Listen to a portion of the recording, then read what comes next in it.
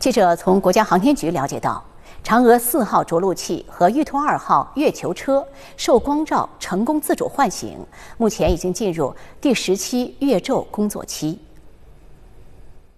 嫦娥四号着陆器和玉兔二号月球车分别在四月十七号十三时二十四分和十六号二十时五十七分自主唤醒，进入第十期月昼工作期。